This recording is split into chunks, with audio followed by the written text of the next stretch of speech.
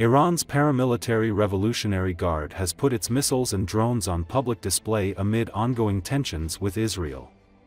Some of the ballistic missiles showcased are capable of reaching Israel and U.S. bases in the region. The exhibition includes Iranian-made drones and radars as well. Iran is a close ally of Hamas and Hezbollah.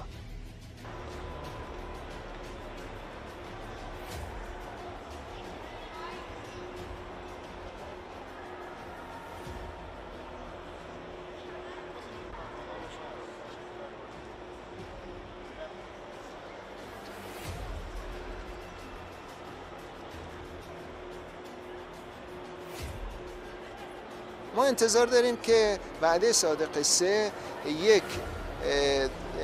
اتفاقی را رقم بزنه و شاهدش باشیم که بر این تعجب های صادق یک و دوی ما بیافزاید. بگونه که دشمن دیگه حواسش جمع کنه. بگه حریف این ایرانی ها اینا نمیشه.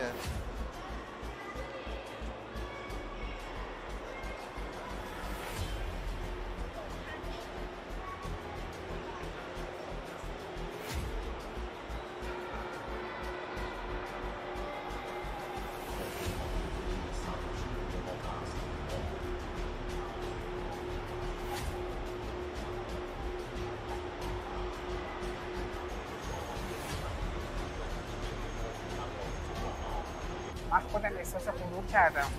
از اینکه تونستیم اینقدر قدرت دفاعی رو ببریم بالا که تو مخیله این تجاوزگرا این فکر پیش نیاد که بتونن به حمله کنن اینجا.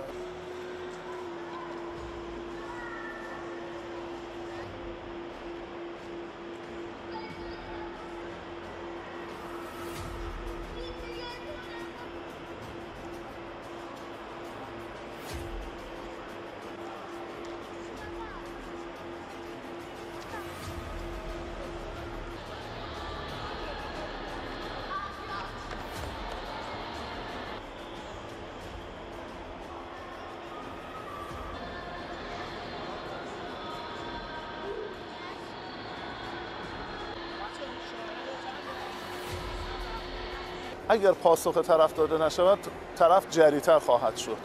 پس ما از مسئولین می‌خوایم که به قدرت و همچنین با توکل بر خدا به سختترین شکل و محکمترین شکل پاسخ به کسانی که به خاک ایران تعرض کردن من جمله اسرائیل غاصب انجام بدن و از این موضوع موضع خودشون به هیچ عنوان کوتاه نیاد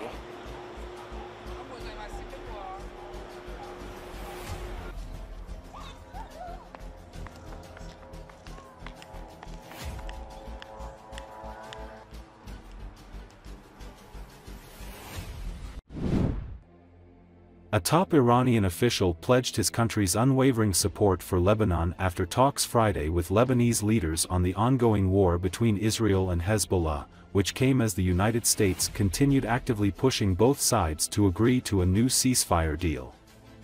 Ali Larijani, an advisor to Iran's Supreme Leader Ali Khamenei, said he hoped circumstances would soon improve in Lebanon so that displaced people could return home. The main aim of our visit is to loudly say that we will stand by Lebanon's government and people, Larijani told reporters after separate meetings with Parliament Speaker Nabi Berri and caretaker Prime Minister Najib Mikati. The U.S. has been trying to broker an end to the fighting between Israel and Hezbollah, which came as the 13-month war with Hamas broadened in September into southern and eastern Lebanon as well as Beirut's southern suburbs. Both Hezbollah and Hamas are backed by Iran, and Hezbollah began firing rockets into northern Israel the day after Hamas' surprise attack into Israel on October 7, 2023 ignited the war in Gaza. According to reports in Lebanese media, U.S. Ambassador Lisa Johnson has handed over a draft of a proposed deal to end the Israel-Hezbollah war to Parliament Speaker Nabi Berri, who has been leading the talks representing Hezbollah. A Lebanese official confirmed Friday that Johnson visited Berri but refused to say whether a draft was handed over. Another Lebanese official confirmed that Beirut has received a copy of a draft proposal that the U.S. sees as suitable to end the Israel-Hezbollah war based on UN Security Council Resolution 1701 that ended the war in summer 2006 between Israel and Hezbollah. The official did not give details other than to say Israel was insisting that some guarantees be included. Both spoke on condition of anonymity because they were not authorized to speak to the media about the ongoing talks. The U.S. Embassy refused to either confirm or deny the reports. Larijani flew in Friday from neighboring Syria where he held similar talks a day earlier with President Bashar Assad. Syria's state news agency said Assad and Larijani discussed the ongoing aggression on Palestine and Lebanon and the necessity of stopping it. In addition to supporting Hamas, Iran is a main backer of Hezbollah and for decades has been funding and arming the Lebanese militant group.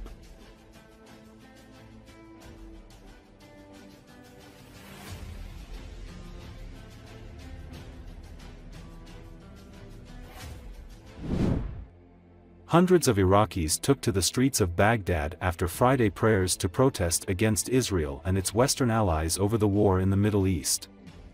Protesters, many of whom were followers of influential Shia leader Muqtada al-Sadr, burned flags of the US, the UK and Israel during the demonstration.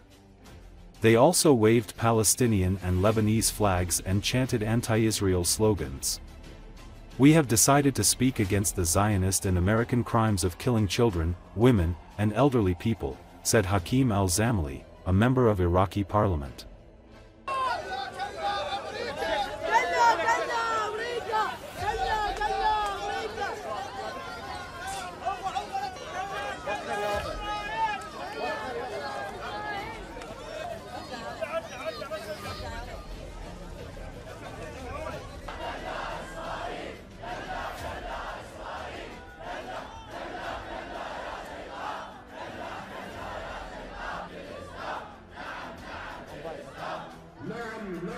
اليوم كانت هناك تظاهرة في موقع صلاة الجمعة في مدينة الصدر هذه الصلاة هي أكبر صلاة في العراق ولذلك قلنا كلمتنا ضد الجرائم الصهيونية والجرائم الأمريكية بقتل الأطفال وقتل النساء وقتل الشيوخ وتخريب البنى التحتية وحرق الأشجار وتدمير ما يمكن تدميره لذلك كانت كلمتنا واضحة بأمر من سماحة القائد مقتدى الصدر أعزه الله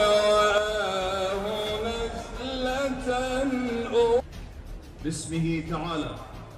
يدعوكم مشروع. وهناك قتل يجري وهناك آه، صمت عربي وإسلامي ودولي آه، ضد هذه الجرائم التي تقتل الأطفال والنساء والشيوخ الله أكبر.